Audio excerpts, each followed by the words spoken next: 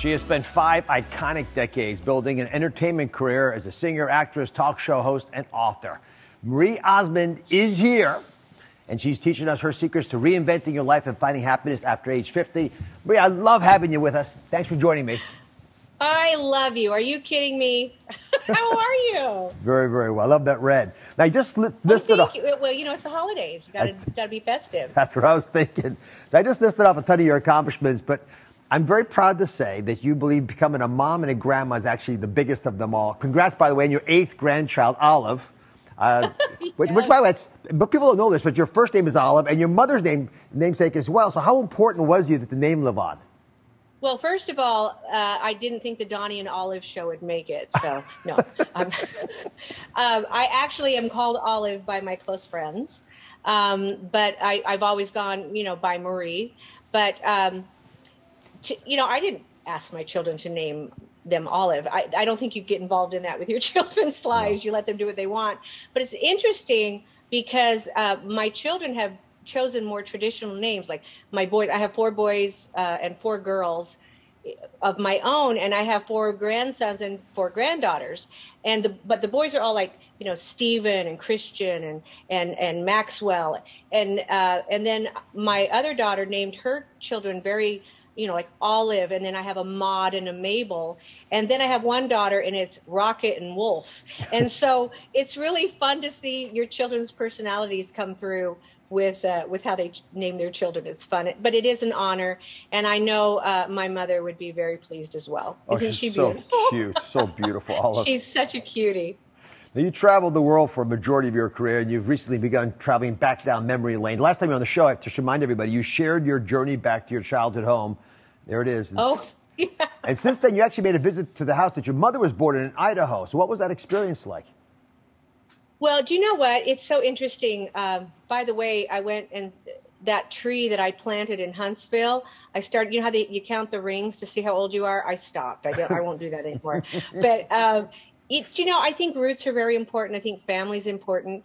That home is now like a, a, a site, a historical site. And I had never been there. When they dedicated it, it was actually the week my son passed away, and I didn't want to be in the public. And so my husband, uh, we have we like to travel around, got our motorhome, and uh, went there to see it. And it was so fun because as I walked around the grounds, Oz, it was really cool because I saw where stories I had been told of her childhood. Oh, that happened here and this happened there, and she was born there, and it was just it was really fun. It's nice to return to that, and it's nice to have those stories to pass on to children. Right. It's a it's a blessing that they have restored it for me. You know. For sure. But I tell you, the, the, the, the real surprise for me, and I've been, you know, you've been in the spotlight since you were three years of age, and I've been interviewing many child stars, and they have shared their fair share of struggles. What's remarkable to me is how you made it out to the other side so well adjusted with such good memories. You're so cute. Um, how do you know that I'm well adjusted? No. because I've gotten to know you pretty well, and people around you like you. I mean, you're, it is a, it is a, a a remarkably healthy life that you've crafted for yourself, emotionally healthy. so sweet. Uh, I've told this story before. Uh, I think it's worth repeating, but I remember when I was about 16 and our, our the Donnie and Marie variety show was dubbed into 17 languages worldwide. So it was it was kind of like not not to sound weird or anything, but I was kind of like the Taylor Swift of that generation, Yep, right? yep. And so I remember coming home and we worked hard. Don't get me wrong. I worked, you know, 16, 17 hour days. And um, I came home and I it was exhausting. We had two and a half days to learn 350 pages of script, dancing, and everything. And I said, Mom, I'm going to bed. I need to look good. It's, we're taping tomorrow. And she said, Hey, wait a minute. You haven't done your chores. And I said, Mother, like, you know, I'm Marie Osmond. you should have seen her face. It was the worst thing I could have ever said. And she she goes, "Oh, really? Okay, well now you're cleaning the toilets. and if you give me any more lip, I have more choice because you're going to learn that that's a job and this is reality. And you're going to see that all these people want to take care of you and entitle you, and you're going to have to learn that reality is taking care of yourself and being responsible responsible to your family and learning chores. And so really that that was it, it's like self-esteem cannot be handed to you you can't buy it you have to earn it through hard work and those are the things that she put into me and i think those were great values because you cannot be a child and raise children. Also, my eight children uh, really helped me uh, so much going through their struggles in life. It really helped me hone in on those things in my life that maybe weren't quite whole yet. Yep. And um, and being a parent, it's it's a very humbling experience and one that I have treasured more than anything in my life. You know, your entire family was involved in show business. Even though your mom made you clean toilets, there they are. and we, we keep her keep Marie humble. and you know, we saw how that could tear some families apart.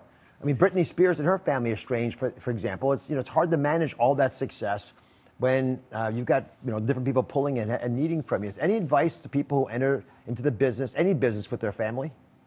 Run. Run. Do you know, my heart goes out to her. Uh, it's, it's an example of people wanting to facilitate and take care of you, and then they end up controlling. And um, you know, that's that's the gratitude I have to my parents was no, know who you are. I know, for example, I lost when we lost all of our money.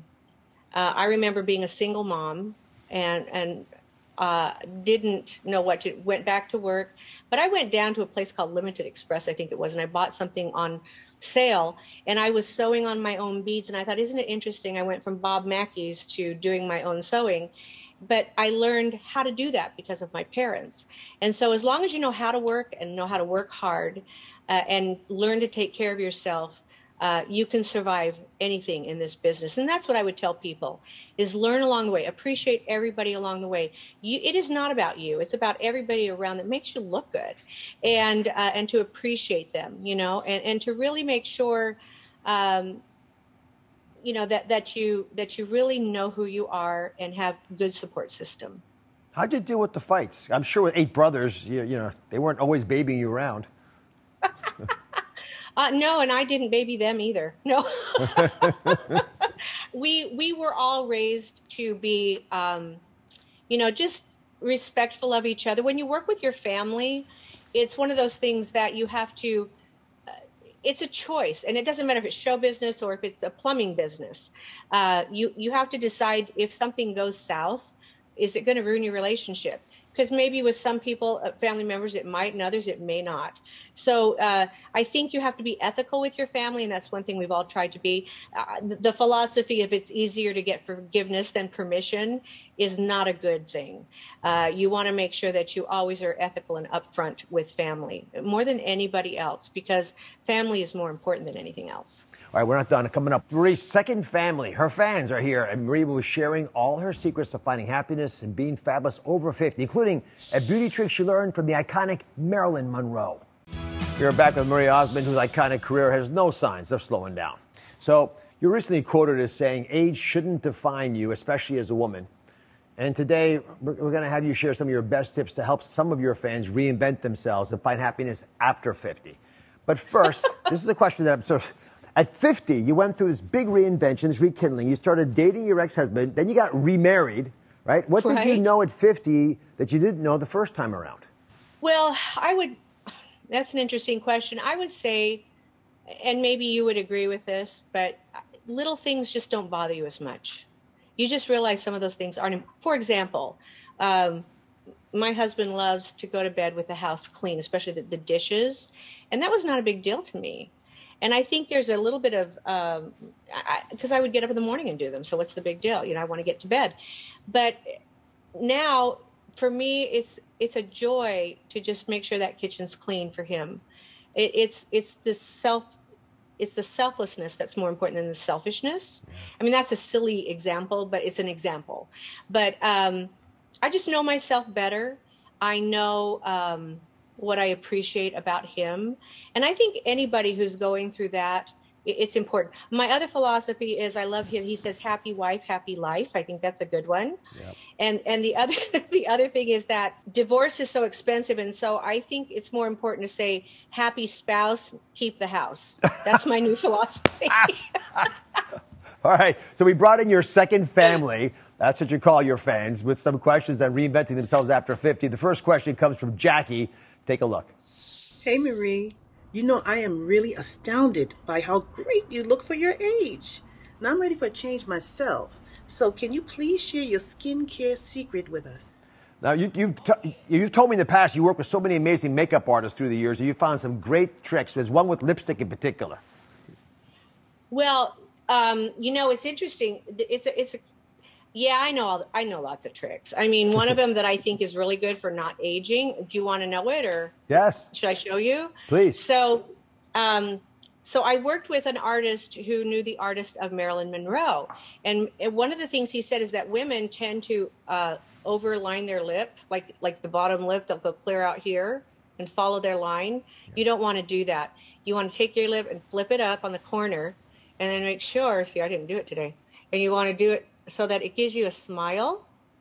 And if you ever make your bottom lip bigger, you want it to tuck under the upper lip, and that's youth. And the other thing you do for youth for is you just make sure you highlight your bow.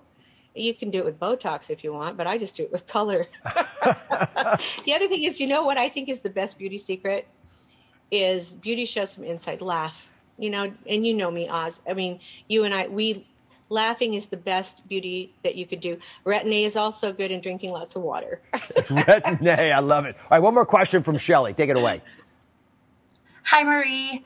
Um, like you, I am a recent empty nester, and I'm trying to find different ways to treat myself now that I'm not busy chasing kids around all day. Um, do you have any advice for that? you know what? It's it's true though. Empty and being an empty nester is another another decade. Every decade there's an adjustment, right? And I'm now an mm-hmm. empty nester. But one of the things that I believe is this is your now your time. You you have all this wonderful uh, investment with you with your family and your children and and your passions mm-hmm. and things like that. But now you get to pursue your passions. Go back to school. Uh, take up look mm-hmm. like me. I I, uh, I take up hobbies. You know, I, I design dolls. I do all kinds of things. I um, I have a new album coming out. I'm singing a completely different way. Uh, just take the time. You know, put yourself out there and don't be afraid. Uh, fear is the enemy of everything that's joy. And if you're afraid to fail, you've already failed because uh, you haven't tried it. And so, um, you know, just tr- go back to school. I just, I love education in every topic that you find interesting. So it's a great way to figure out who you are at this stage of the game. And it's actually kind of fun. Is that interesting? I don't know. very interesting. I never thought about going back to school, so that's very an interesting concept. So thank you for You're sharing. You're so cute. So I've known her thank forever. You. My fans are the best and I I call them my fan friends. And Vegas was so much fun for 11 years because I got to know them and would talk to them. And Shelly's a doll. We have a star in Vegas on the Walk of Fame because of her and and her friend. And uh, the fans did that for us. That's how incredible. Not not that one particular, but the one in Vegas. There's a Donnie and Marie star. But we have that was bought by our fans too. Our usually people buy their own stars. Our fans buy our stars. It's amazing. Up next, Marie puts us in the holiday spirit. Stay tuned.